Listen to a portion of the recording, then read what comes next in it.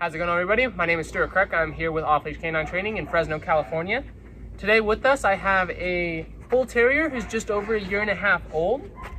He's here to do our two week board and train program. His owner's primary concern is just basic obedience, having a full understanding, making sure he is completely reliable and accountable whenever he's at a construction site. Oh, come on, dude.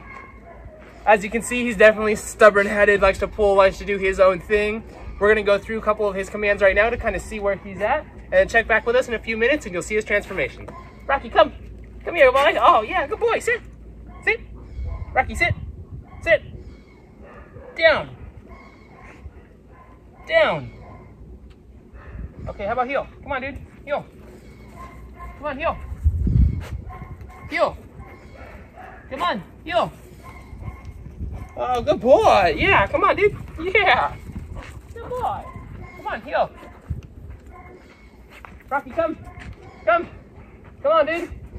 Yeah, good boy. As you can see, he's really stubborn. Wants to do his thing when he wants to. So check back with us in a few minutes. You'll see his transformation.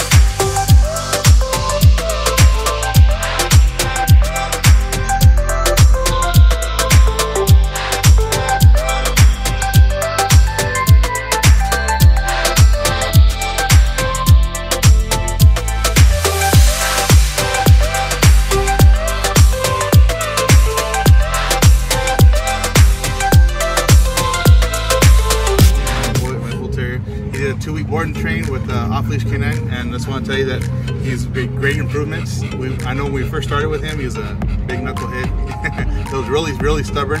It took a lot of leash pressure to get him to, to sit or down. It took a lot of work to get him to do those basic things, but now he's really doing it with very little leash pressure. He's now he's doing it in an e-collar, and I'm really excited. We got a chance to see what he can do and, and walk around the park with him and deal with him and do all those basic things. So I just want to let you know that yeah, we're really excited to take him home and continue to improve on these uh, these commands and he's, he's way he's doing thousand times better.